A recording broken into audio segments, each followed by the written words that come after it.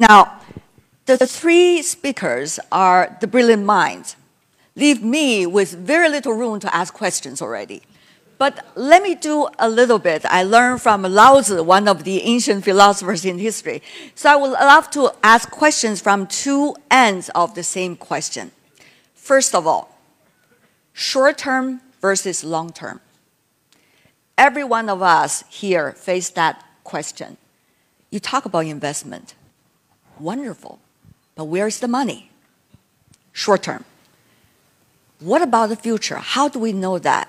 We love the directions you three gentlemen pointed uh, to all of us in the Asia Pacific, but we cannot guarantee the certainty of the future you described. So, what about short term, long term? Let's have, uh, let's go with this way, yeah? Is it okay this time? Uh, Professor Schwab, uh, briefly.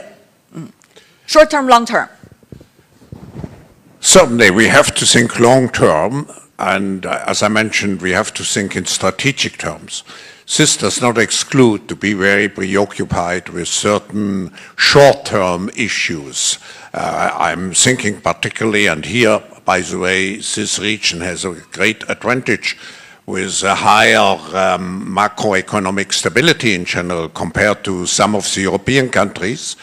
Um, because uh, fiscal policies are now very difficult to be um, adopted in order to uh, invest into the future, as you rightly said, we, we have squeezed out the national budget and the capabilities of government uh, facilitating um, investments into the future. So business has to come in, whatever you can, and um, uh, I would I would invest now as far as I can, and particularly invest into being at the top of the digital and green economy because this will pay the dividends in the future, being at the forefront of the digital and green economy.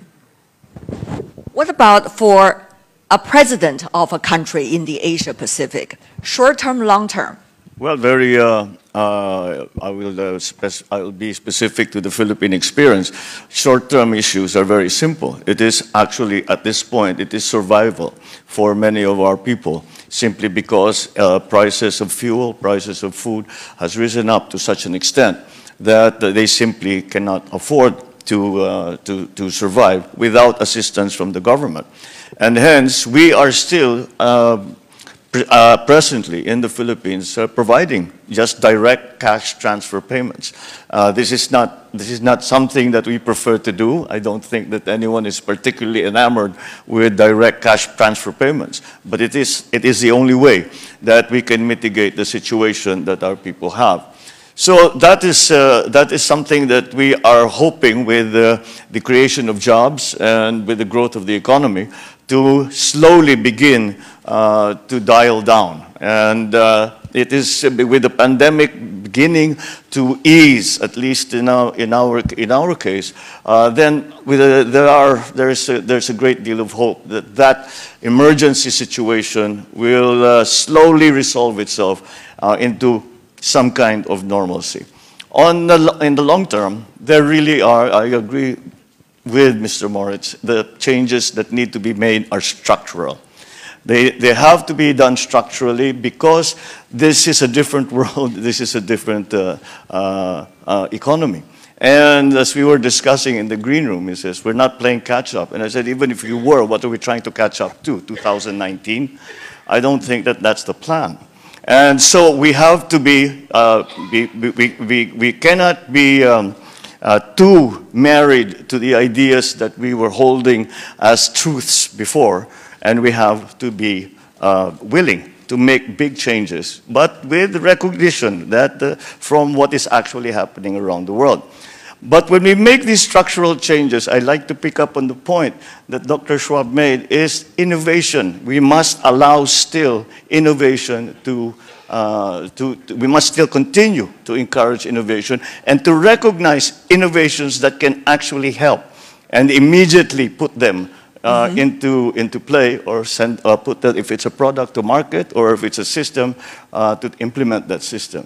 So the agility that Mr. Moritz is saying, I think is the key to the future in the long term for not only the uh, ASEAN, uh, Asia Pacific region, Indo Pacific region, but for the whole, uh, the whole world. Thank you, Mr. President. Short term, long term, Mr. Moritz. Let's be very clear for the politicians and the business leaders in the room. You actually need to survive the next two years to be able to thrive over the long term. And that requires you to deliver the trust and the outcomes and the immediacy to have the confidence and the trust of others to be willing to change for the long term. You need to deliver the results in the next two years to find the investment capacity to fuel the future. So as we think about this, it's a combination of two things. One is making sure you're delivering on the explicit needs in the short to enable the success in the long. Second is to describe and enable the journey. Right now, we talk about climate, for example, and Klaus's point and, and the president's points. It is not so black and white or binary to stop X and to move to Y. That'll be catastrophic to some economies and communities. It is the journey, a just and inclusive journey, that's going to be very important. And making sure that narrative is better understood by our stakeholders to better manage the short and long term is very, very important. Second question What kind of state of the world are we in? And therefore, the Asia Pacific region. Is it being defined as, you know, at I could use in many different languages to uh, describe the same thing or similar things, but in English it will be rivalry, competition, or cooperation, which we have seen in trade mechanisms, at least uh, in the Asia Pacific region for decades. Maybe we start with Mr. President on that. As I, as, I, as I described, I think one of the great advantages that, the, uh, that APEC and uh, the uh, countries uh, in the Indo-Pacific, Asia-Pacific region have been able to manage is that the very difficult balance between uh, cooperation and competition. And yet we seem, to, for the most part, I would say we have done it.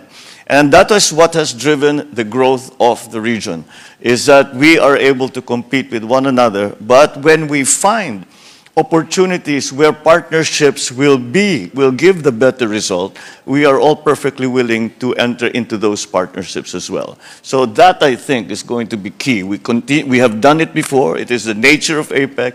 If we continue to do that and strengthen that, I think it will be to the great benefit of all countries. Thank you. Professor? I think we should not underestimate the social pressures which make governments in principle today more egoistic because they have to serve their people first. But it's a responsibility, despite this situation, for business leaders and particularly for political leaders. And it is the helpfulness of organizations like APEC, like the World Economic Forum and so on, to remain the connectors on the global level. Because we never should forget, we are one humanity. And in the old ages, we had the village cooperations and we had national cooperation. Now we need global collaboration if we want to survive. Just look at climate change. Let me analogize to PwC. There's days where we compete fiercely with our competitors. There's days we come together to collaborate on societal opportunities. And we did so working with the World Economic Forum, where the consulting and accounting firms came together to land a recommended set of metrics because the challenge was not business and a P&L, it was societal. Likewise, countries and companies need to do the same. The challenges we see today, and COVID—it was one small example, albeit a challenging one, climate being the next, cannot be solved with competition in mind. And it does not limit itself to geographic borders or competitive landscapes. So it has to be compete when appropriate and collaborate as much as possible, to the extent possible. And as we sit here today, we are starting to see more signs where the world is trying to take those on, coming out of the G20 meetings or some of the other meetings that have been recently announced, and that hopefully gives us some more bright spot in the world of clouds that we see in front of us. And I'm sure the uh, fruitful results, shall I say, of the G20, particularly on the sidelines, many bilateral meetings, including be- between the two world's largest economies, going to bring us a lot of opportunity for cooperation as well. Last question. Oh my God, we only have 30 seconds left. Maybe we have one more minute uh, for our speakers. Just uh, very briefly, you all talk about building trust it's not easy. Building trust or rebuilding trust. We know how difficult it is, especially over the past few years. We might not be able to see to each other in person.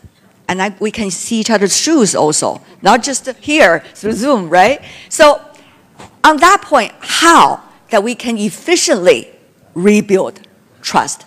Then I start with uh, Mr. Moritz. Yeah. Very quickly, but we're short on time. You need to engage and listen carefully.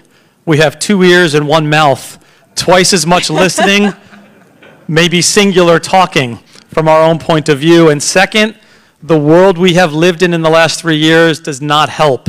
It creates more conflict or more risk of interpretation.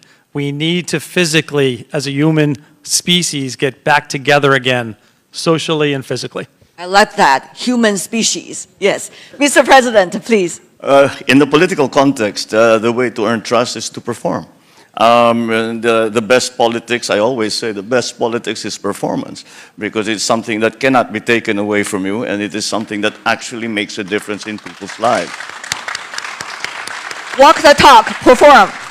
Perform, and uh, you, will, you will get the trust back of the people. And uh, that is what we all all politicians, and I'm sure even, bu- in, even people from the business side, that's what we strive for. Thank you so much. Uh, Professor Schwab, Short answer. microphone. To be trusted. Short answer to be trusted leaders. Now, what does it mean to be a leader and a trusted leader? You have to have brains, soul, heart, muscles, and good nerves. Let me explain. You have to be really professionals who look forward, strategists. See, um, so you have to have purpose. I think you get the trust if you show that you live up to a purpose. Finally, the heart. You have to do with passion what you are doing. And the muscles you have to translate into action and walk the talk. And finally, as we say, we are in a crisis preparing for better times. We have to have good nerves. Thank you.